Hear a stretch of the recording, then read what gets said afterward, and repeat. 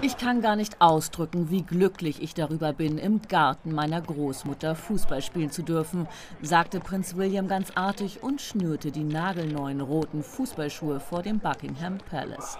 31 Jahre alt, offensichtlich Rechtsfuß, in Personalunion britischer Thronfolger und Präsident des englischen Fußballverbandes FA. Er wandelt auf standesgemäßem Grün auf den Spuren von Rooney, Lampard und Co.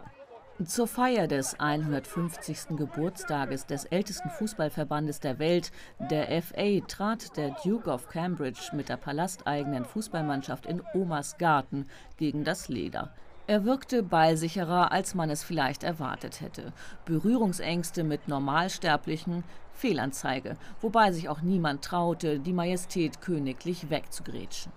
Nach der lockeren Trainingseinheit wurde es wieder hochoffiziell. Der Buckingham Palace sei das Herz der Nation und es gäbe deshalb keinen besseren Ort, um britischen Nationalsport zu feiern.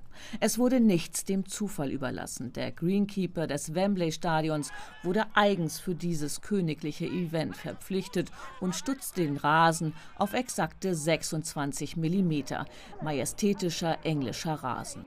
Beim anschließenden Jubiläumsspiel zwischen den beiden ältesten Fußballteams Englands schaute der Prinz allerdings nur zu, ließ aber die Mannschaften wissen, wenn etwas kaputt geht, dann müsst ihr das mit meiner Großmutter klären.